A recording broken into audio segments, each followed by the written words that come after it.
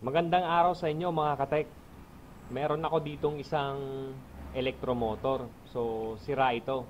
Pero ang sira nito is ah, running capacitor lang. So, capacitor lang ang sira nito. So, sa video na to, kukuha na natin ng resistance yung winding ng electromotor na to. So, after na kuha na natin ng resistance tong winding ng electromotor na to, so, i-actual natin ulit yung Ohm's law. So, actual natin gagawin. So, titingnan natin kung talagang tugma talaga yung sinasabing Ohm's law.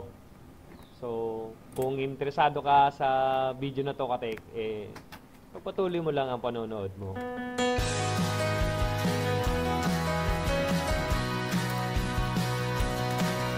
Isa kasi sa mga priority ko na trabaho, eh, i-check yung mga full pump ng maintenance namin. So, kasi mga maintenance namin, may kanya-kanyang full pump yan. So, once na may sira sa isang pump, so yung isang tao, eh, hindi makakapagtrabaho. So, madidelay. So, matatambakan siya ng lilinisin, kumbaga. So, kailangan, hindi dapat madelay yung trabaho nila. So, dire-diretso lang yung linis nila. Kasi wala naman silang oras na i-check ito eh. So, ako lang yung kumbaga all around maintenance dito. So, may time tayo para buting tingin tong pump na to. Minsan nga kahit fuse lang ng saksakan is sira, hindi pa nila ma-check-check yan eh. So, iaasa pa yun sa akin. So, kumbaga, dadalin sa sa akin tapos sila aalis na yan. So, manghihiraman sila ng pump nila. So, kahit nasa malayo yung isang maintenance, eh, pupuntahan yun para manghiram ng pump lang. So, anyway mga katik, balik tayo dito. So, natanggal ko na yung capacitor. Kumuha na rin ako ng papel at uh, minarkahan na rin natin yan. Meron siyang kulay na black, pink, at saka green. So, tatlong connection lang yan. Tatlong kulay lang. So, test muna natin yung multimeter natin na gagamitin. Actually, clamp ammeter ito eh, pero dual naman siya eh. So, makaka-check naman siya ng resistance. So, ayan. Kung nakikita nyo yung symbol na yan na nakatutok dyan, iset nyo lang dyan sa symbol na ohms or sa parang sapatos ng kabayo. So, okay. Pagdikitin lang natin tong dalawang probe natin. Okay, good. Open line. So, 0 ohms, 0 resistance. So, unahin natin yung black tsaka pink. So, meron tayong makukuha 9.3 ohms. So, ayan. Sunod natin yung black tsaka green. So, meron tayong makukuha 22.5 ohms. So, ayan. Tapos yung panguli natin is pink tsaka green.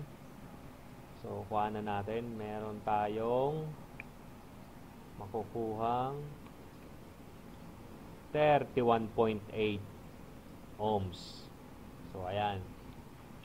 Nakuha na natin lahat. Nakuha na, na natin lahat ng connection ng electromotor na to. So, meron siyang total na 63.6 ohms. So, ayan. Balik na naman tayo nito, mga katek, sa mathematics.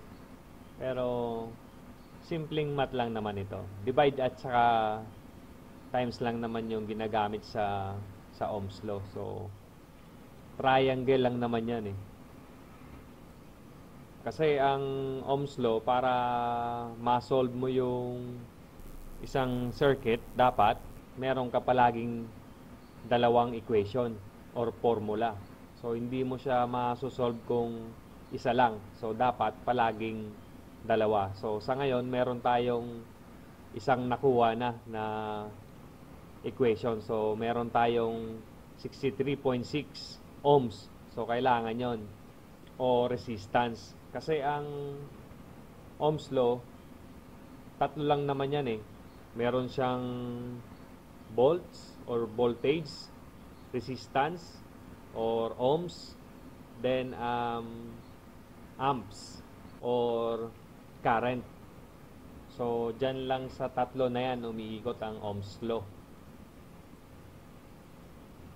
Actually, meron pa palang isa, yung power or watts. Pero since dito muna tayo sa sa simpleng Ohm's law, so ito muna ang tatlo na to, yung voltage, resistance, at saka current. So, dyan lang muna tayo sa tatlo na yan.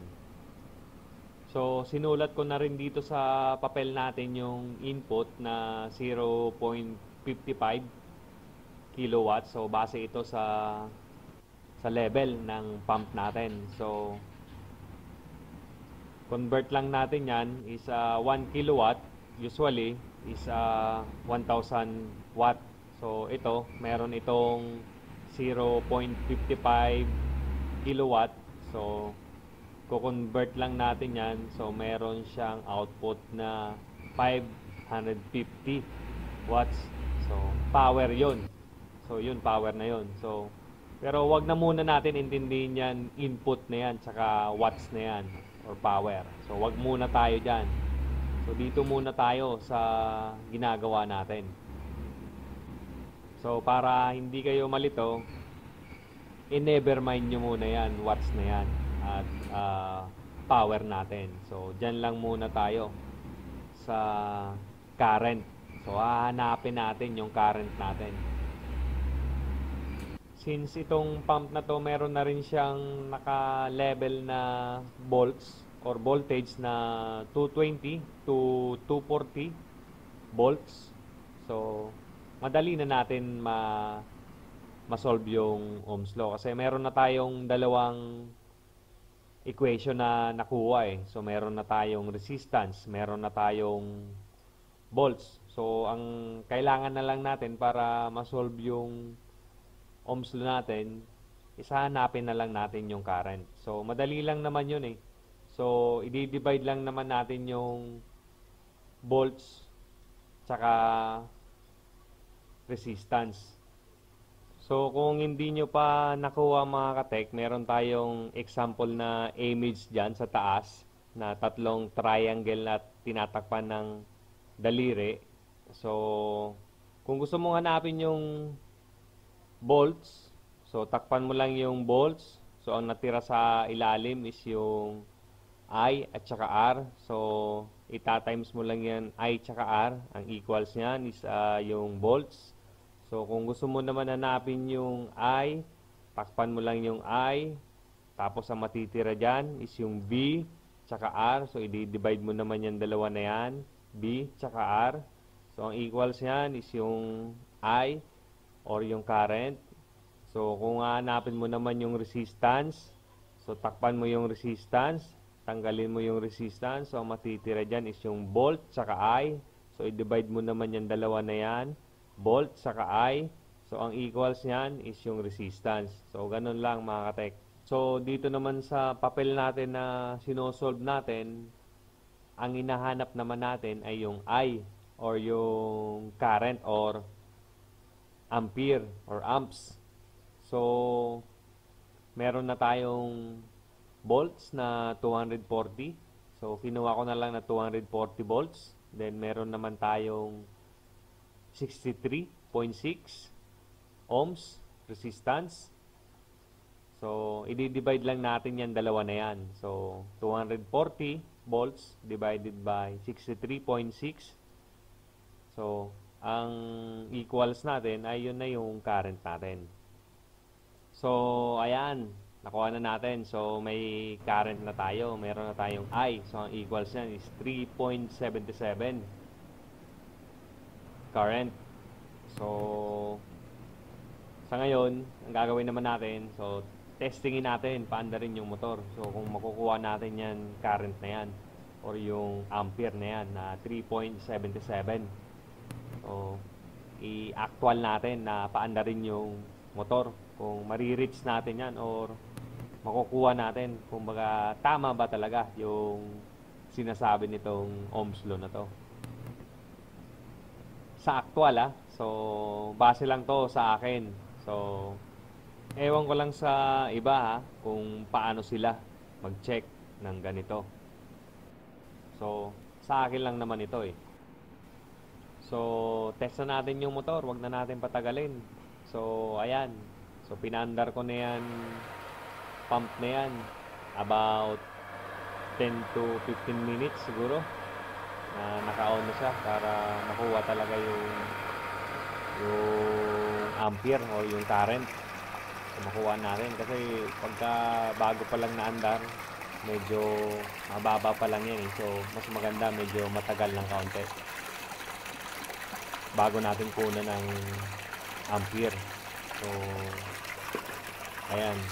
Dalawang connection lang naman ang kukunan natin eh. Yung live tsaka yung neutral. So, eto. Unahin na natin yung isang wire live. So, meron tayong 2.2 ampere. Yung isa naman, yung neutral, 2.4. So, 2.2 ampere plus 2.4. So, yun na yung total na current natin. So, base sa actual test natin, meron tayong 2.2 at saka 2.4 ampere. So, plus lang natin yung dalawa na yon yung 2.2 at saka 2.4. So, equals nun is uh, 4.6 ampere o yung current natin. So, hindi naman masyado nagkakalayo kasi yung sa atin is uh, 3.77 ampere. So, hindi naman masyado malayo. So, magkalapit lang yan. So, medyo tugma sila pero hindi totally tama yung numero na kwenta natin. So, kasi yung volts naman ginamit ko is 240 volts. So, pwede naman natin gawin yung 220, 238 volts. So, depende kasi. Depende yan sa'yo kung paano mo siya kuhanan. So, depende sa sa equation natin kung ano yung hahanapin natin. So, depende pa rin sa ano sa tanong, di ba?